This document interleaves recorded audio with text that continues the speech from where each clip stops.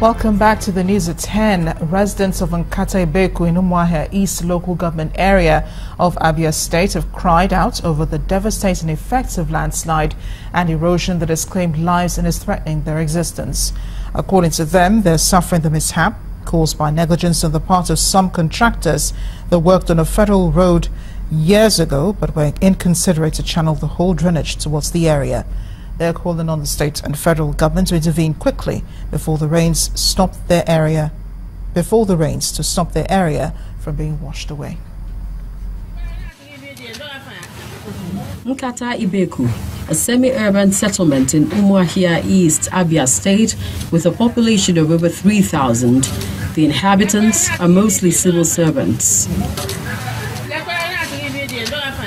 With the serene environment, residents rely on cultivating staple food crops in their farms within their compound and cherish the communal lifestyle. But this is about to change now because of the threat of landslide and erosion. The suburban community now live in fear because of the anticipating damage any rainfall may bring to the area. Some of them have no option but to restructure their houses to avoid it from collapsing. The government just ignored us. They ignored us. If you go to my, the back of my destiny, you see I have spent money to protect this little house I put there. You see and many other things. Everybody is suffering. Nobody passes here. Even we have policemen and other uh, civil servants living here. Nobody passes around here when the rain uh, falls. And in fact, if you come here to watch when heavy rainfalls and have the, the weight of the flood, you just pity everybody who is living here.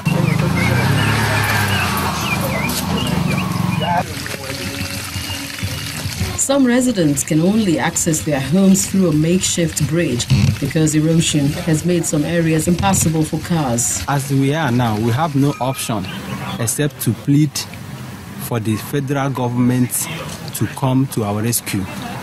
If you leave this in, in the next raining season, you will see that there's no car. Just look at here. It's our management. We have been doing it every cleanup day or every week to see that our car can park in or people can walk through this community. We can only plead for federal government to see how they can assist us because when you look at this bridge here, it's not a bridge that uh, a, a state or maybe a village can do. So we are pleading the federal government also to help to make sure that we can be able to rescue the life of our people because it has taken us time. The state government is aware of their plight and has promised to look into the problem. I want to assure you that before the rainy season, if nothing is done in terms of comprehensive work this season, before the next season, I can assure you that everything that needs to be done would have been done. Relevant authorities in charge of road construction will do well by properly studying the environmental impact assessment of areas before embarking on any work in the future to avoid the spate of erosion.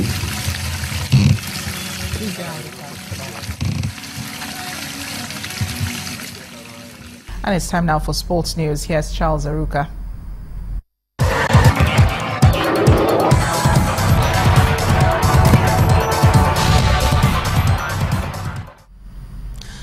Thanks a lot, Marachi. Welcome to Sports News. We'll begin with table tennis. European superpowers Portugal, Russia, and Hungary, as well as African giants Egypt, along with 11 other countries, have confirmed their participation in this year's ITTF Nigeria Open that will hold in Lagos. Organizers have confirmed entries from Finland, Slovakia, Romania, Iran, Mexico, Ghana, Congo Brazzaville, Morocco, Tunisia, Congo DRC, and Cameroon.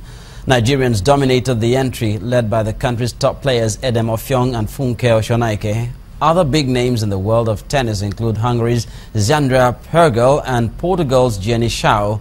In the men's singles, Aruna Quadri will be up against top players from Europe in a tournament that begins only on that begins on May the 18th through the 22nd. In football, Leicester City has completed one of the most remarkable triumphs in sporting history by winning the 2015-2016 Premier League title. Tottenham's 2-2 draw at Chelsea confirmed a stunning achievement for Claudio Ranieri's side. Leicester started the campaign as 5,000 to 1 outsiders for the title after almost being relegated last season. Closest challengers Spurs, Arsenal, Manchester City, Manchester United and last year's champions Chelsea have all failed to match the Foxes' consistency across the season. Leicester have lost just three league games in what's been described as a fairy tale and the most unlikely triumph in the history of team sport. Meanwhile, Super Eagles forward Kelechi Iheanacho says it will be a dream to play for Manchester City in the Bernabeu and hopes to take his hot Premier League goal-scoring form into the Champions League showdown.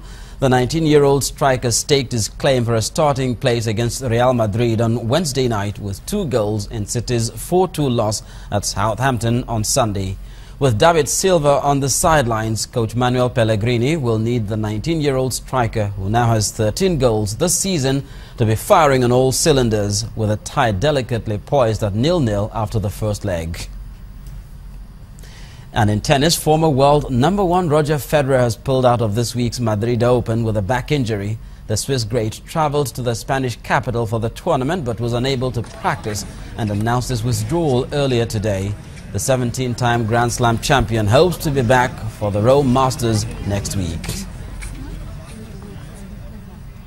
And world number 5 Rafael Nadal is hoping to continue his perfect form as he arrives in Spain ahead of the Madrid Masters. The Spaniard is coming off two straight titles.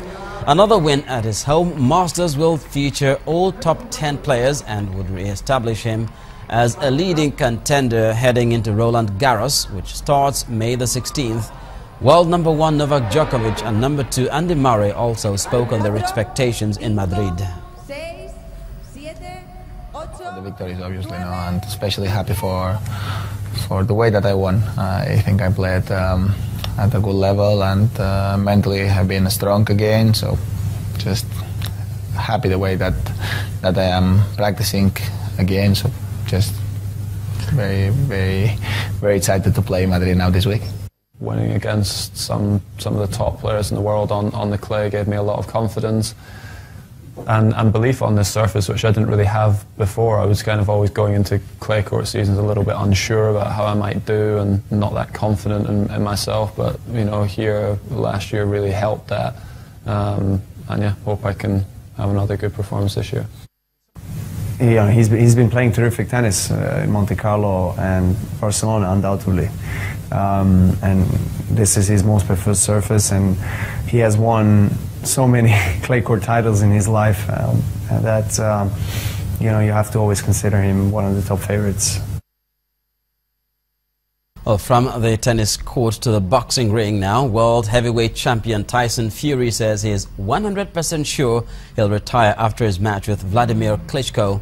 Fury defeated Klitschko by unanimous points decision in Dusseldorf last November to claim the WBA, IBF, which he was later stripped of, and WBO heavyweight titles. Klitschko subsequently activated a rematch clause in his contract, and the duo will meet again in Manchester on July the 9th. However, the 27-year-old announced on social media that his next fight will be his last. Depending on whether he wins or loses. But that's it on sports news and it's back to Amarachi with the rest of the news at 10. The owner of the story building that collapsed in Nairobi, Kenya, Samuel Karanja Kamau, has been arrested and will appear in court tomorrow. Nairobi's Governor Evans Kidero says as soon as they are, they are identified, the officials who approved the construction of the building in the neighborhood would be sacked.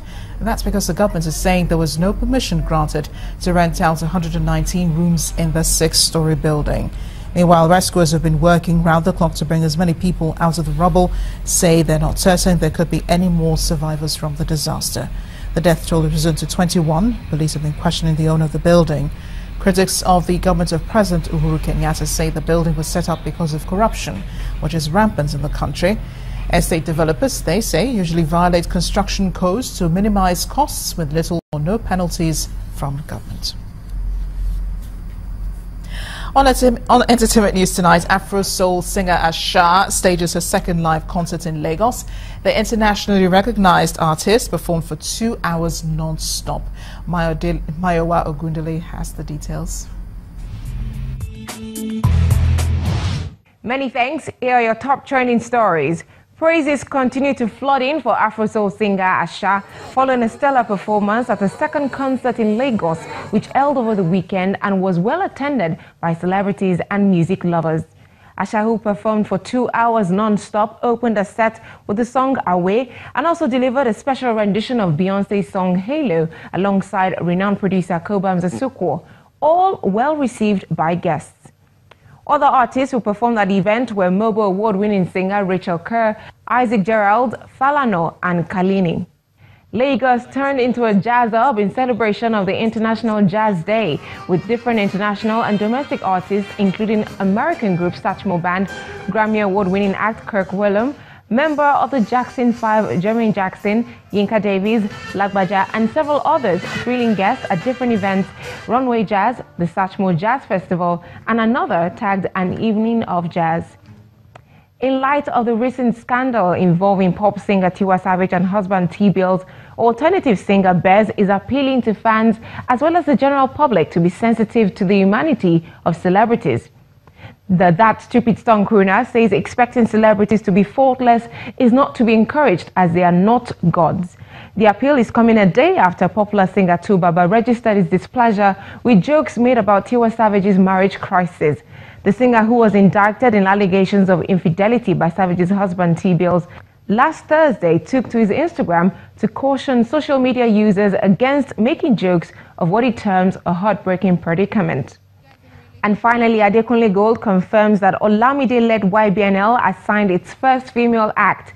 The singer, who chose not to reveal the identity of the artist, said the newbie is a soul singer. Well, that's it from me. Many thanks for watching. Let's head back to the main news. And the main news again. Nigerian military today offered assurances of releasing captives of the Boko Haram terrorists as it takes on the insurgents at Sambisa Forest. The Chief of Defense Staff, General Abayomi Olonisakin, explained that a major clearance operation is presently going on in the forest. Nigerians are being enjoined to start a tree planting revolution towards achieving a green economy in the face of global climate change. This emerged at the Environment Summit in honor of the wife of the Ogun State Governor Olufunsho Amosun, who turned 50 and Cameroonian President Paul Biya is expected to arrive in Nigeria tomorrow for a state visit. That's the news at 10 tonight. Thank you for watching. I am Amarachi Ubani. Good night.